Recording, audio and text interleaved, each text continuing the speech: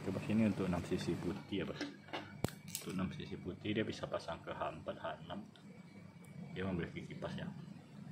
Ini original ya bos untuk hasil sinarnya tidak akan mengecewakan ya bos untuk terang lampu ini dia mengikuti box lampu kita bos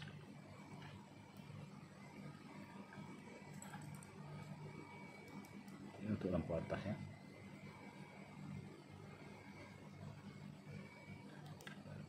kabel putih dia lampu bawah bos untuk lampu bawah. Saya tempel lampu atas dia akan lebih terang. Ya. lampu atas. Ini lampu atasnya ini lampu bawah.